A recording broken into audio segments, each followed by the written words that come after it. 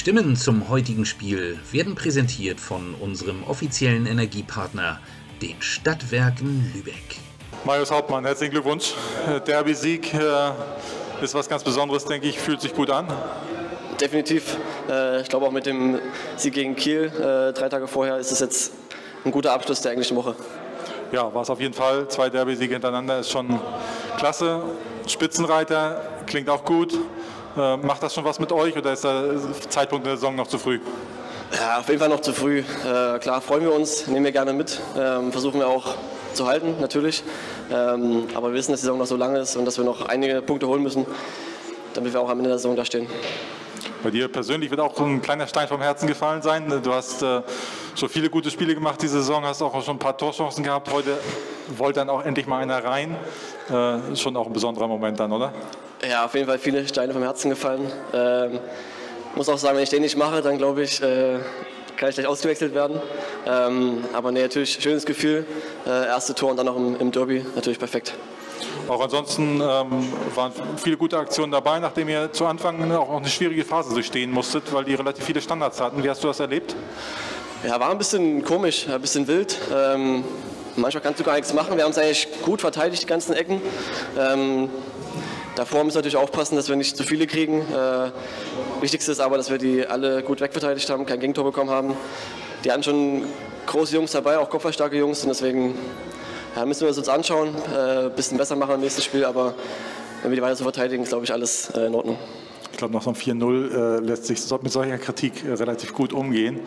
Ähm, ihr seid dann auch ja, heiß geblieben, sozusagen giftig geblieben. In der zweiten Halbzeit sah es schon sehr souverän aus, oder? Wie hast du es empfunden? Ja, also ich glaube, wir wussten, dass äh, Phoenix viel über Zweikämpfe kommen wird, über Körperlichkeit. Ähm, haben wir, glaube ich, sehr gut dagegen gehalten. Äh, viele Zweikämpfe auch für uns entschieden. Äh, viele auch gewonnen, dann unsere Torchancen gut genutzt. Ähm, ja, zweite Halbzeit war, glaube ich, dann ein bisschen deutlicher. Wir hatten ein bisschen mehr Spielkontrolle, obwohl wir auch noch ein paar Fehler gemacht haben, die wir vielleicht abstellen müssen. Aber ich glaube, alles in allem war es ein gelungener Auftritt. Ähm, drei Tage auch nach einem schweren Kielspiel, wo wir viel laufen mussten. Deswegen, glaube ich, können wir zufrieden sein. Jetzt hat der Trainer auch äh, nicht nur zwei Tage freigegeben, wie im Trainingsplan stand, sondern hat noch einen dritten spendiert. Ja. Ähm, das macht das Feiern noch ein bisschen äh, relaxter, oder? Definitiv. Ähm, wir haben ein bisschen darauf spekuliert, wenn wir beide Spiele gewinnen, dass es vielleicht so kommen kann. War natürlich die Freude groß dann im Kreis, als es äh, durchgesagt hat. Ähm, ja, nehmen wir gerne mit und dann versuchen wir äh, ab Sonntag wieder auf, die, äh, auf das Spiel gegen Bremen 2 äh, uns vorzubereiten. Jetzt darf man ja auch mal einmal kurz schon Richtung Sonntag gucken, da steht noch eine Pokalauslosung auf dem Programm. Ähm, das haben wir ja bisher gar nicht thematisiert, weil es alles noch ein bisschen weiter weg war. Ähm, Gibt es irgendwie einen Lieblingsgegner für dich, irgendwas, was du da gern hättest? Eigentlich nicht wirklich. Äh, ich glaube, es muss auf jeden Fall einer aus der ersten oder zweiten Liga sein, ein Gegner. Ähm, ja, am Ende, wenn es ein großes Los wird, dann natürlich gerne die Bayern. Äh, aber ansonsten einfach schauen, was auf uns zukommt und dann versuchen wir natürlich nächste Runde zu kommen.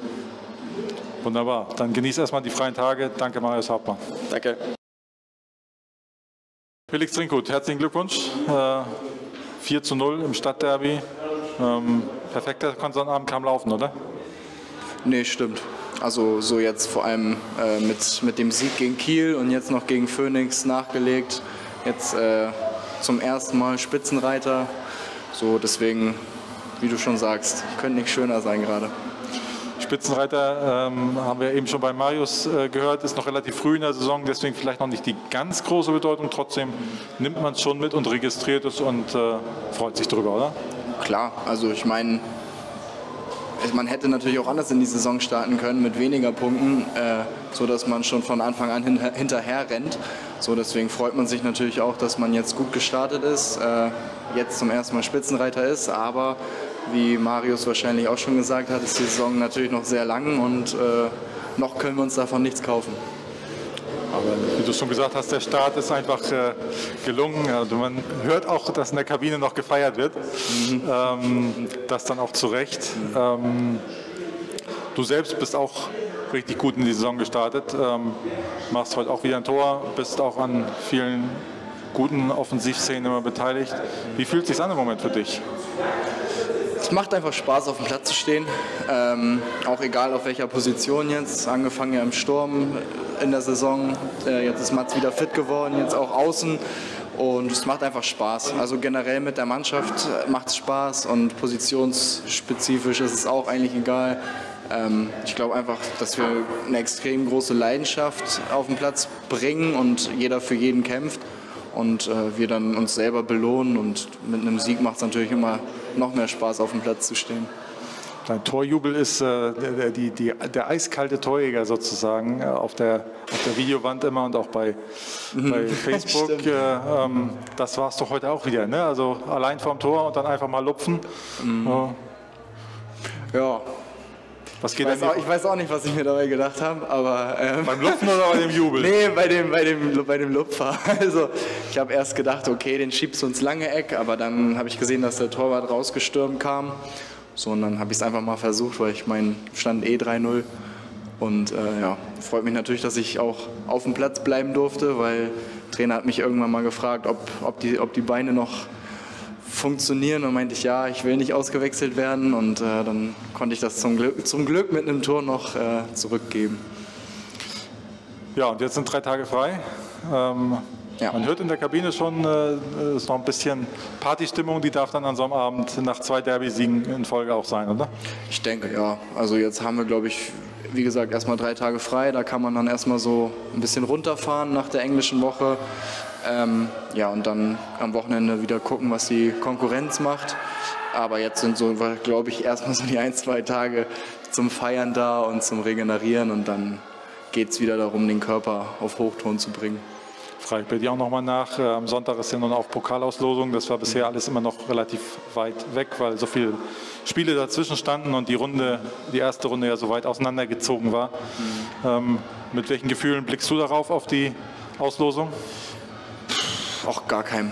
Also ich nehme es einfach so, wie es kommt. Ich habe äh, die Frage vorhin auch schon beantworten müssen. Da habe ich gesagt, gerne ein Zweitligist. Ähm, ich glaube, gegen Leipzig, Teutonia hat man gesehen, wie es auch mal schnell aussehen kann.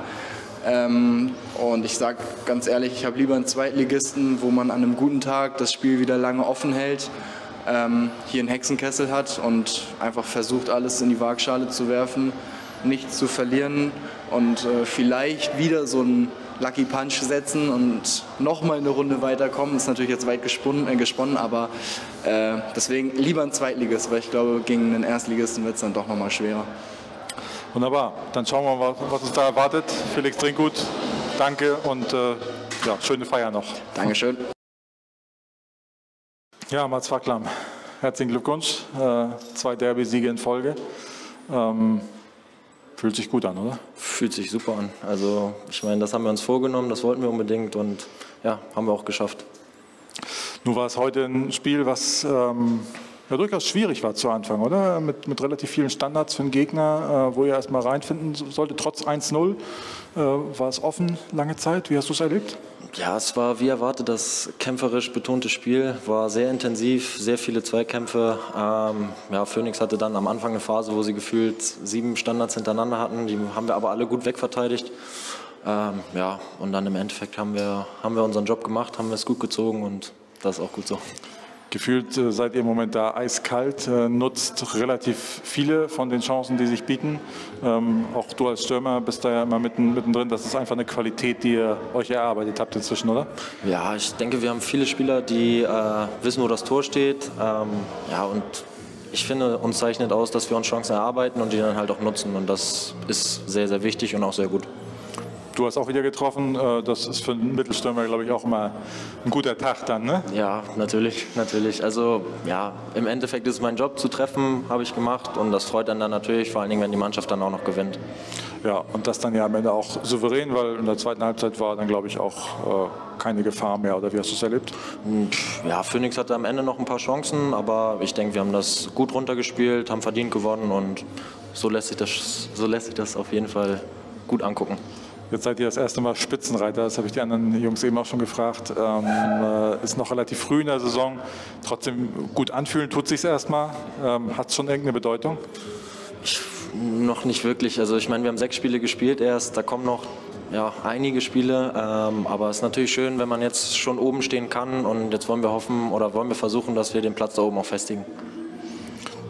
Dafür gibt es jetzt erstmal drei Tage frei, um äh, ja, ein bisschen runterzukommen und ein bisschen auch vielleicht den Moment zu genießen. Ähm, Wie sieht das bei dir aus? Äh, machst du heute noch richtig Party oder legst du eher die Fuß, Füße hoch oder äh, wie Ja, so dein, dein Plan für so eine dreitägige Phase? Gute Frage. Ähm, ja, heute ist ja Mittwoch, da ist ja nicht so viel offen, aber bisher ist noch nichts geplant. Mal schauen. Also ja und sonst mache ich zu Hause was mit Freunden. Äh, bin am Samstag dann wieder beim HSV, äh, aber sonst nichts groß geplant.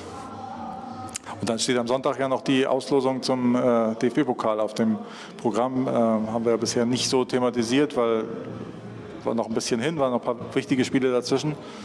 Jetzt kann man ja schon mal gucken, äh, du als Hamburger, lieber HSV oder St. Pauli oder gibt es noch einen ganz anderen Wunschgegner? Nee, am liebsten HSV. Also ich denke, da würde ich mich sehr, sehr freuen, wenn wir gegen HSV spielen würden. Und auch eine kleine Chance haben, vielleicht sogar weiterzukommen, meinst du? Hoffentlich. Na, mal schauen, wen wir bekommen, aber HSV wäre schon cool.